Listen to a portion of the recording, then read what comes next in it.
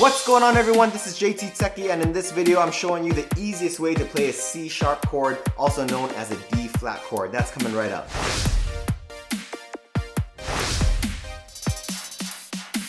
So first off, the C sharp chord, you should know it's uh, basically the exact same thing as a D flat chord. It's just a different name, all right? So uh, let's take a look. Uh, first, we're gonna take your index finger and we're gonna bar the first fret strings one, two, and three.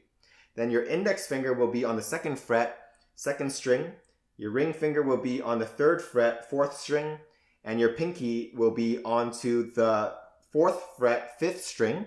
Strum all the strings except for string six.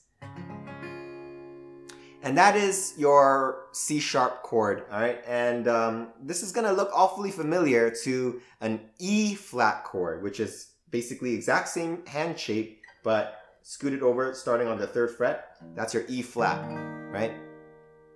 So how's the easiest way to play a C sharp chord is uh, we're gonna take your index finger and we're gonna bar the fourth fret and then your other three fingers, it's, uh, they're gonna be onto the sixth fret, strings two, three, and four. And you can strum all the strings.